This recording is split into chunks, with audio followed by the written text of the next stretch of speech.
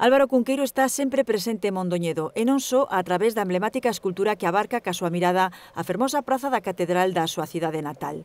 Os mindonienses lembran a Cotío, especialmente nestas datas, con motivo do aniversario do seu pasamento cando lle renden homenaxe cunha ofrenda floral na súa tumba.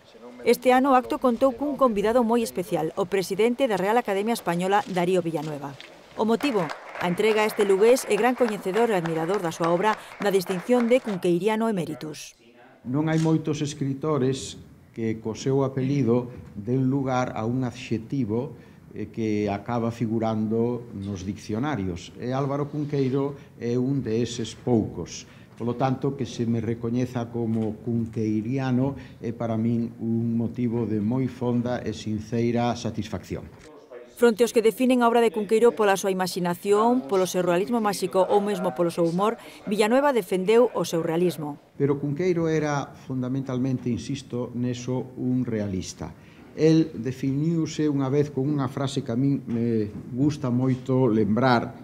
Eh, dixo, eu son un que anda entre istes nosos e conta e que o presidente da Real Academia Española recolle o sentir de Cunqueiro, de que a súa obra reflicte persoaxes extraordinarias da súa contorna para darlles unha dimensión universal. Porque Cunqueiro, falando do noso, falando de nós, está falando de eh, a humanidade completa, os lectores de calquer lugar identifícase inmediatamente con esa que el chamaba xentiña nosa. Desde o Concello destacase o orgullo que senten os veciños por Cunqueiro e a importancia que ten para a cidade desde o punto de vista cultural e económico. E dende logo, a súa vida e a súa obra é un escenario de oportunidades que temos a obriga de, de pôr en valor e que temos a obriga de aproveitar tamén no sentido máis importante para a nosa cidade que é para a dinamización económica e ao desenvolvemento e de oportunidades non torno a todas as industrias culturais.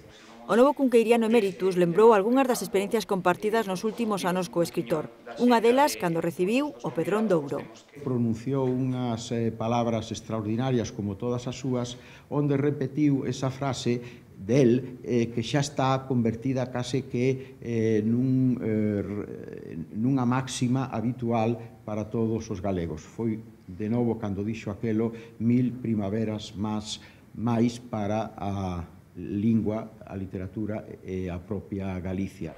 E mil primaveras máis tamén para a obra deste mindoniense universal.